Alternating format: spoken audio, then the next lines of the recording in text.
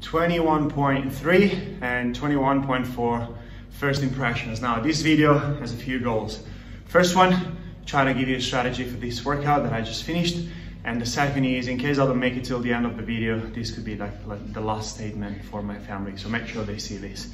But joking aside, it's very hard. It's, it's harder than I thought it was going to be.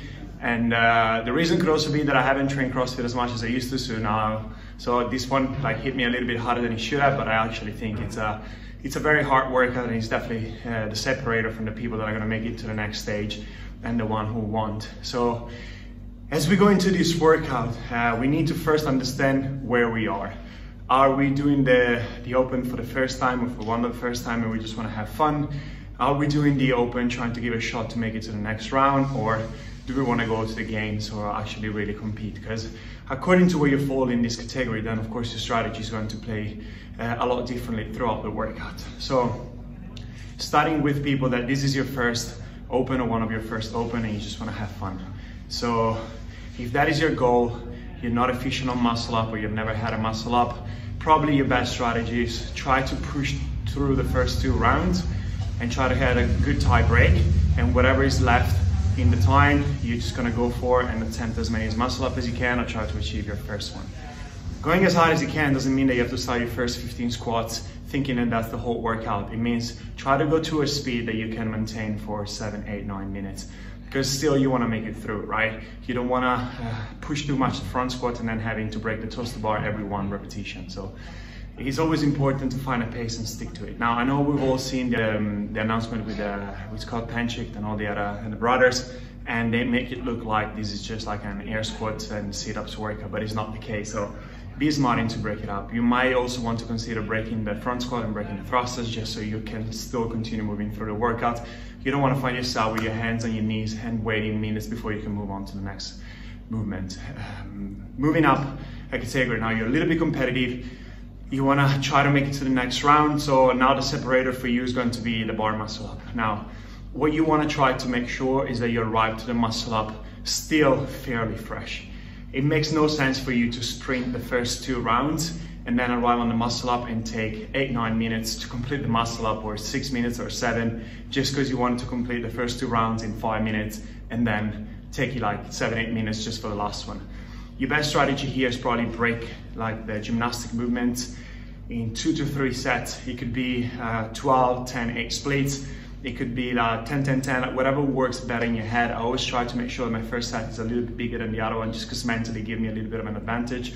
But you still want to make sure that you break those up. Don't go unbroken. I know you're good at toes to bar. I know you can link many, many reps, but you have a lot of work to do after that. So even if you're comfortable on toes to bar, please consider breaking it a little bit sooner. Each round, like the first two rounds, they might take you 10 seconds more than they would take if you would go unbroken, but you're going to arrive at the end on a muscle up and you're going to be still able to perform. Now, when you go to a muscle up, it's a whole different game. It's a lot harder because by the time you get there, your heart rate is up, everything is a little bit tired, your grip is tired. So even then, you're probably better off going three, four reps at a time with small breaks in between, then try to attempt the first set of 10, then have having to rest 45 seconds, and then go again. Like the, the rest between the three workouts is very short. It's a minute, it just fly by. But the second you wash your hands, like you, you dry your hands, get some water, time is up. So you don't really recover much unless you've been practicing like get your heart rate down very fast, but you don't recover as much. So you don't you don't want to do like go out too hard in the first few rounds because you don't have enough time to recover after that. And it's same on the muscle up. You don't want to go out too hard on the muscle because you're not going to have enough time to recover, but you're to have to waste a lot of time before you actually jump back on the bar. So my suggestion is break it earlier than you think. The muscle up are to start to hit after you pass 15, 18 reps. That's when you're to start to feel them a lot. So if the first five reps feels good, that's just great news, but don't take advantage trying to link another five and then destroy all the good things that you've done up until that point. Now the last stage is for those who actually want to compete. And here it's just like, you need to hang in there, mate. Like you have to go hard. Now you probably want to break maximum once on the on the gymnastic portion and you definitely don't want to break the bar but you have to go if your goal is competing if your goal is to make it through the next round and make it to a good position and put a little bit of a statement and actually test where your fitness is at, this is a great workout to test if you're actually fit for CrossFit or if you're not. So this is one of the workouts that you kind of have to push it a little bit and risk it a little bit because then you're still probably gonna make it to the next phase, but you have a good picture like, hey, I probably need to work on these few things if I actually wanna pass also the next stage because here we're going to see like a big separator in between the top athletes and the good athletes. So if you find yourself in the good category because something went wrong in the workout, or you were not ready enough or fit enough for this, you probably, like this workout is going to be a wake up call on things that you will need to work on uh, later on through the season.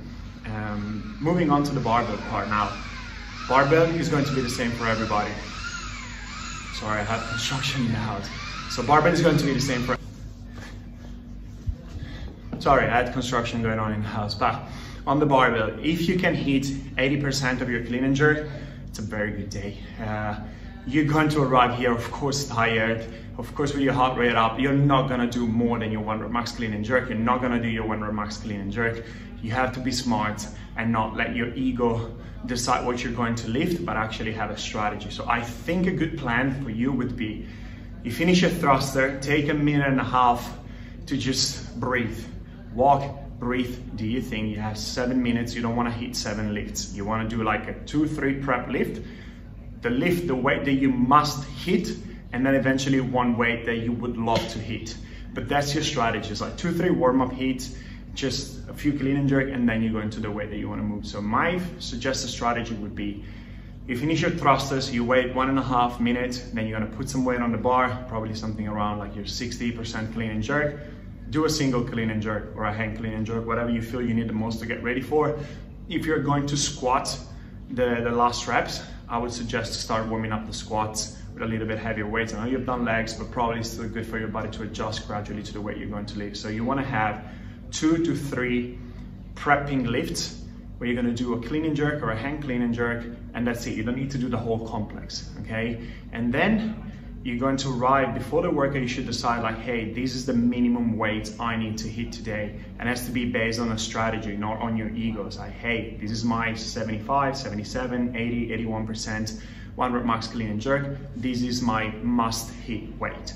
So you want to hit that weight when you have like maybe two minutes left on the clock. You want to do the whole complex and that is your must hit. You can't miss that weight. That's what you need to hit. So make sure you strategize it beforehand because when you arrive on the barbell and you're tired, you're not very brilliant. Your brain is foggy. You're not gonna strategize when you're already destroyed. You have to strategize before so that when you get onto the bar, you have your must hit weight.